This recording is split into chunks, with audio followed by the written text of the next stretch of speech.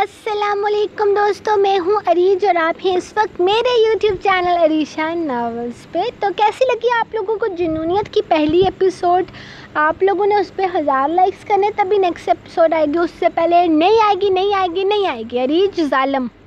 अरीम, अरीज जालम सी। ओके आज की किस्त जाने? इश्कम की, क्योंकि जुनूनीत आए या जुनूनीत का बाप आ जाए। जाने इसको किस्त लाजमी आएगी? वरना मेरे रीडर्स मुझसे नाराज़ हो जाएँगे। वैसे वहाँ पे नीचे भी कमेंट्स आ रहे हैं। ज़रावर और दर्शे को अलग नहीं करना। आ, उनका मसला हल करें। उनका पहले लेकर आए। इसके एपिसोड बाद में पढ़ेंगे। पहले उसको थोड़ा सा हमें रिलैक्स करें। वो आपने गलत जगह पे अटका दिया नावल तो पहले आप लोगों का नावल जुनू ये जाने इश्कम ऑफ़ कोर्स ये पहले ही आएगा। क्योंकि मुझे पता है कि बहुत सारे ऐसे रीडर्स हैं जो कि जुनूनियत नहीं पढ़ना चाहते पहले पहले ये वाला पढ़ना चाहते हैं। तो यस पहले ये नावल लाजमी आएगा। जुनूनीत की एपिसोड मेरी कोशिश होगी कि मैं नौ बजे तक दिया करूँ वह भी अगर हज़ार लाइक्स आ गए तो। और ये वाला नावल जब आप लोग चाहोगे तब आएगा। आ, इसकी मैं सरप्राइज़ एपिसोड देने की भी कोशिश करती रहूँगी। आप लोग भी कोशिश करते रहो। ज़्यादा से ज़्यादा लाइक करने की क्या जाएगा आप लोगों का? बस थोड़ा सा आपने अंगूठे को मूव करना है। अंगूठे को नहीं, उंगली को हाँ। आपने उंगली को मूव करना है ठिश, और ये लाइक हो गया। बस इतना सा काम है, कोई मुश्किल काम नहीं है। और अभी शुक्र, अल्हम्दुलिल्लाह के अब बाहर हमारा जो, वो शोर शराबा था, वो थोड़ा कम हो गया तो आज की एपिसोड रीड करते हैं। जरशे और ज़रावर की लव स्टोरी का द एंड होने वाला है। मज़ाक करिए चलें, आज के एपिसोड पढ़ते हैं।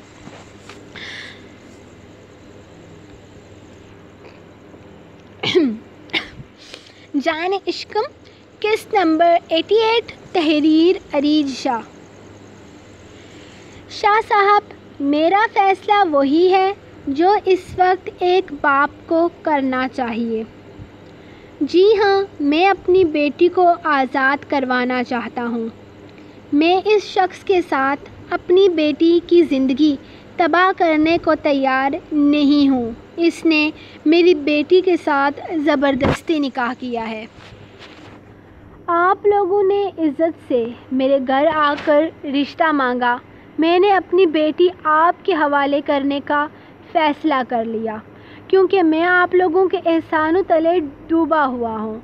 लेकिन मुझे नहीं पता था कि यहाँ मेरी बेटी के साथ जुल्म कर दिया गया है। मैंने अपनी बेटी से जब पूछा शादी का तो इसने फ़ौर हाँ कर दी।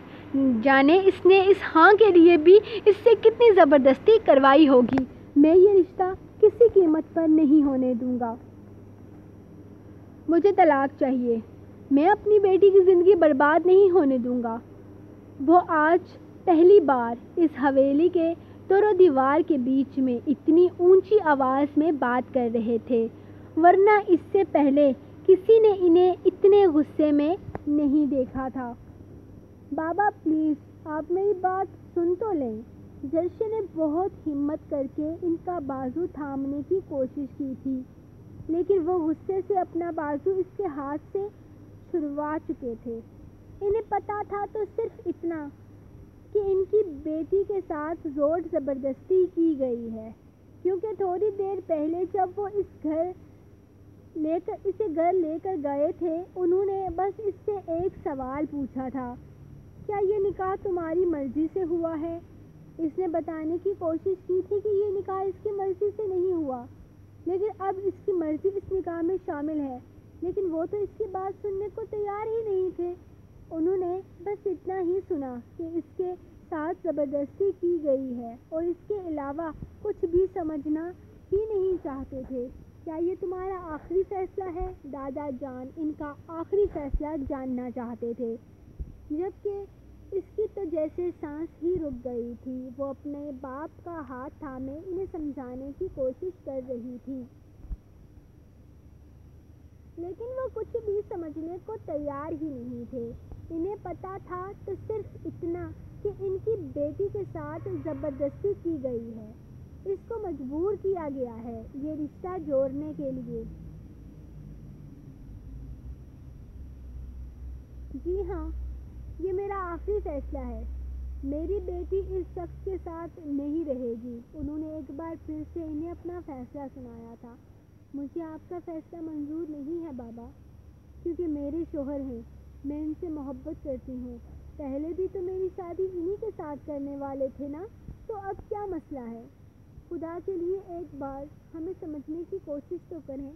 उन्होंने मजबूरी में ये सब कुछ किया है। इनकी मजबूरी को मैं समझती हूँ। बाबा, इस वक्त मेरा रिश्ता आया हुआ था। वो रिश्ते को लेकर परेशान थे। इस वक्त अपने घर वालों के सामने अपनी मोहब्बत का इजहार नहीं कर पा रहे थे।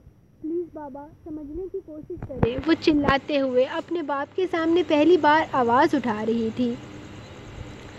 इसकी मजबूरी की इंतहा ये थी कि आज इसे शोहर और बाप में से किसी एक के फैसले को सही साबित करना था। इसके बाप का फैसला गलत था। निकाह होना था और निकाह तो कल भी हुआ था तो क्या फ़र्क पड़ता था कि निकाह पहले हुआ है या बाद में? इस हकीकत को छुपा कर ही रहना चाहिए था। जाने किसने इस बात को इतना बड़ा चढ़ाकर सबके सामने पेश कर दिया था। लेकिन वो इस वक्त बहुत ज़्यादा खौफजदा थी। इसका बाप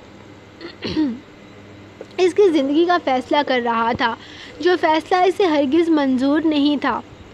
मेरा निकाह इन्हीं के साथ होना था। आज से तीन महीने पहले भी मेरा निकाह इन्हीं के साथ हुआ था। यही मेरे शोहर हैं, मैं जानती हूँ, उन्होंने गलती की है, लेकिन बुरे नहीं हैं वो। मुझसे बहुत मोहब्बत करते हैं। प्लीज़ बाबा, यकीन करें, वो इनके सामने हाथ जोड़ रही थी, जबकि बाबा कुछ भी सुनने को तैयार नहीं थे। इससे पहले कि जाफ़र अकबर खान कुछ भी कहते, दादा जान की आवाज़ आई। लड़की सोच समझ कर फैसला करो। अगर तुम इसका साथ चाहती हो तो याद रखो कि हम इसे चार साल के लिए खुद से ला ताल्लुक़ कर रहे हैं। ये क्या करेगा, कहाँ रहेगा, हमारा इससे कोई वास्ता नहीं होगा। अगर ये धक्के भी खाता है तो हमें इसके साथ, तुम्हें इसके साथ धक्के खाने पड़ेंगे। वो अपना फ़ैसला सुना रहे थे। दादा जान, मुझे सिर्फ़ मेरे शोहर के साथ रहना है। इनकी दौलत जायदाद से मेरा कोई लेना देना नहीं है। मुझे इसके अलावा और कुछ भी नहीं चाहिए, इसने रोते हुए कहा था। तो फिर फैसला हो गया। जाफ़र अकबर खान खामोशी से वहाँ से निकलने लगे थे कि अचानक दादा जान ने इन्हें पुकार लिया। बरहल तुम्हारी बेटी फ़ैसला कर चुकी है और इसका फ़ैसला हमें मंजूर है। अगर आज रात को ही ज़रावर को इस घर से निकाल कर बाहर करते हैं तो बदनामी तुम्हारी बेटी की होगी और पहले ही हमारे पोते की वजह से इसको बहुत बुरे तरीके से बदनाम किया जा रहा है। लेकिन अब तुम्हारी बेटी खुद अपनी ज़ुबान से इस बात का इकरार कर रही है कि वो ज़रावर के साथ रहना चाहती है। लेकिन एक बात हम अपनी तरफ़ से इसे कह देते हैं कि चार साल तक अगर ज़रावर इसे सड़क पर भी रखे तो इसे रहना होगा। दादा जान जैसे इम्तहान में डाल रहे थे, लेकिन मोहब्बत करने वालों के लिए भला ये इम्तहान की क्या अहमियत? ये इम्तहान क्या अहमियत रखते हैं? दादा जान, मुझे कोई फ़र्क नहीं पड़ता। मुझे सिर्फ़ ज़रावर के साथ रहना है, आपसे और कुछ नहीं मांगती। प्लीज़ ज़रावर को मुझसे अलग मत करें। मैं अपनी शादी के दिन मर जाऊँगी। वो इन्हें देखते हुए इनके सामने हाथ जोड़ रही थी। आज इनको लगा, जैसे ये लड़की इनके पोते के लिए ही बनी है, लेकिन वो फैसला सुना चुके थे। जाफ़र अकबर खान, कल तुम्हारी बेटी की मेहंदी की रस्म की जाएगी। और परसों रुखसती, इसके बाद ना हमारे पोते से हमारा कोई ताल्लुक़ होगा, और ना ही तुम्हारी बेटी से। इसे एक रात का वक्त दे रहे हैं। सोच लो, ज़िंदगी आसान नहीं होगी तुम्हारी। इसके अलावा हम किसी से कुछ नहीं कहते। वो अपने कमरे की तरफ़ बढ़ गए थे, जबकि ज़रावर ने मज़ीद कुछ भी नहीं कहा था। वो तेज़ी से जरशे के पास आया था, जबकि वो बिलक कर रो रही थी। इसे अपने बाजुओं में कैद करते हुए इसने इसे सीने से लगा लिया। इसने बिना किसी की परवाह किए इसे खुद में समेट लिया था। जबकि जाफ़र अकबर खान ने लम्हे में ही इसे इससे अलग करते हुए अपने घर का रास्ता लिया था। इस वक्त इन्हें अपनी बेटी पर बेतहाशा गुस्सा आ रहा था। इस शख्स के लिए अपने माँ बाप के ख़िलाफ़ जा रही थी। यकीनन जो भी हुआ था, वो इसकी मर्ज़ी के ख़िलाफ़ हुआ था। लेकिन अब इसकी शादी में इसकी मर्ज़ी शामिल थी, ये हकीकत थी। लेकिन शायद फ़िलहाल इनके लिए ये समझना मुश्किल था, क्योंकि गुस्से, क्योंकि वो गुस्से में थे और गुस्सा अकल का दुश्मन है। जरशे को अपने साथ, वो जरशे को अपने साथ ले गए थे, जबकि दादा जान के हुक्म के मुताबिक वो शादी की रस्मात में किसी तरह की कोई तब्दीली नहीं करने वाले थे। बस जाफ़र अकबर खान की इज़्ज़त की खातिर, वरना वो अपने पोते से हर ताल्लुक़ ख़त्म कर चुके थे। सारी रात बेचैनी में गुज़र गई थी। कोई भी ठीक से सो नहीं पाया था। शनावर दो बारह दादा जान के कमरे में गया था इनसे बात करने के लिए। लेकिन दादा जान का कमरा बंद था। इसके बार बार पुकारने पर भी अंदर से उन्होंने कमरा नहीं खोला था। मतलब साफ़ था कि वो किसी भी सिफारिश को कबूल करने के लिए तैयार नहीं है। जबकि मुकर्रश भी दो तीन बार इनके कमरे में गया था, लेकिन इसकी भी बात नहीं मानी थी। वो अपने फ़ैसले में किसी तरह की कोई रद्दबदल करने को तैयार नहीं थे। सरावर को चार साल की लातलकी की सज़ा दे चुके थे और अब वो अपनी बात से पीछे नहीं हटने वाले थे। अब ज़रावर को चार साल इनसे अलग ही रहना था।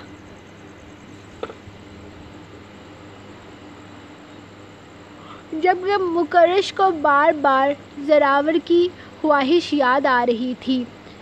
वो हमेशा सबके साथ मिलजुल कर अपने घर में रहना चाहता था।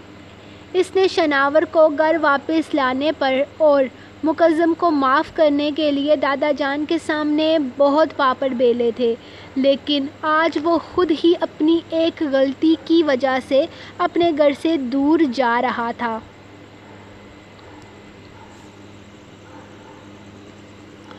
तो यहाँ आराम से बैठा हुआ है और हमारी जान जा रही है। ये कोई तरीका है ज़रावर? वो कमरे में आया तो इसे बेड पर लेटे मुस्कुराते हुए पाया।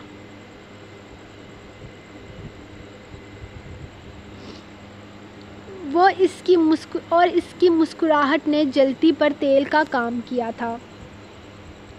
तो क्या करूँ मैं? तुम लोगों की तरह ये उदास शक्ल बनाकर बैठ जाऊँ। भाई, मेरी तो शादी हो रही है और दुल्हा जितना खुश रहे, इतना ही शादी वाले दिन इसके चेहरे पर रौनक आती है। मैं तो चाहता हूँ कि मेरा चेहरा, चेहरे पर बहुत ही रौनक हो। मैंने, मैं अपनी शादी को लेकर बहुत खुश हूँ और अगर तू नहीं है तो बेशक यहाँ मुँह लटका कर बैठ जाओ। वो इसे जवाब देता एक बार फिर से लेट गया था। अबे कौन सी खुशी? तुझे ये घर छोड़कर खुशी मिल रही है? बेवकूफ़ आदमी, दादा जान तुझे दो चार दिन के लिए नहीं, बल्कि चार साल के लिए घर से बेदखल कर रहे हैं। कहाँ जाएगा? कहाँ रहेगा? मुकज़म को धक्के खाने की आदत थी, इसीलिए चार साल यूनिवर्सिटी में टीचिंग करके इसने अपना काम कर लिया था। लेकिन तू क्या करेगा? तूने तो कभी कोई मुश्किल काम नहीं किया। और तो और वो लड़की जो तेरे प्यार में पागल होकर ना जाने क्या क्या दादा जान के सामने बोल गई है। वो इसके साथ ही बैठा, इसे बताने लगा था, जबकि जरशे के ज़िक्र पर वो मुस्कुरा दिया था। कितना प्यार करती थी वो इससे, इसकी मोहब्बत की खातिर वो दादा जान से लड़ी थी, अपने बाप से लड़ी थी, और यहाँ यही बात इसे आज आसमानों तक पहुँचा रही थी। जितनी मोहब्बत वो करता था, इतनी ही मोहब्बत वो भी करती थी ज़रावर से, जिसके लिए वो बहुत खुश था। वो अभी तक जरशे के नाजुक से वजूद को अपने बेहद करीब महसूस कर रहा था। इसकी खुशबू अब तक इसकी रोम रोम में बसी हुई थी। वो ऐस, इसी बात को लेकर खुश था कि वो इसके साथ ज़िंदगी के हर कदम पर ऐसे पैसा जायदाद दौलत हमें हर कदम पर साथ थी।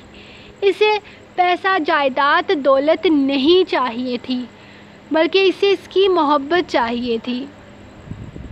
और इसे जरशे से ज़्यादा अज़ीज़ और कुछ भी नहीं था। वो ज़िंदगी के हर मोड़ पर इसके साथ थी।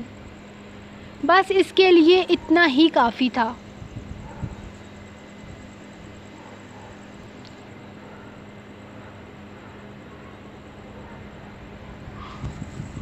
अजीब सी खुशी खामोशी छाई हुई थी।